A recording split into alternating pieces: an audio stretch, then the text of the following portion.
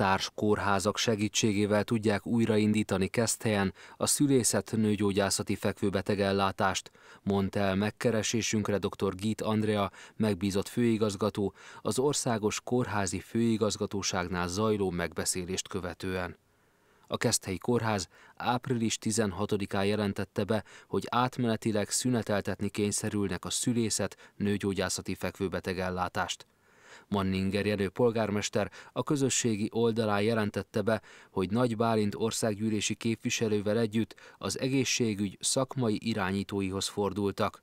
Az orvos hiány megoldását segítendő a város előbb bérlakást ajánlott fel, majd a képviselő testület 15 millió forint támogatást szavazott meg az ellátás mielőbbi visszaállítása érdekében. Bár nem az önkormányzat a fenntartója a kórháznak, de a városlakók érdekében gyors, segítő lépéseket tett Manninger jelő polgármester.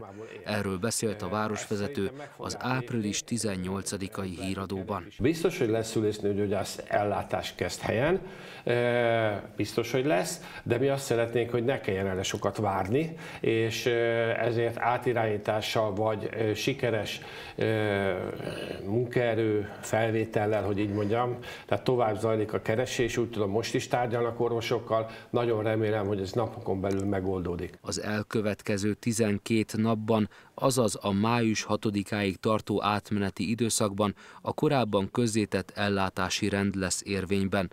Addig a Keszthelyi kórház körzetébe tartozó települések lakóinak Zalaegerszegre, Nagykanizsára, Ajkára és Kaposvárra kell menniük.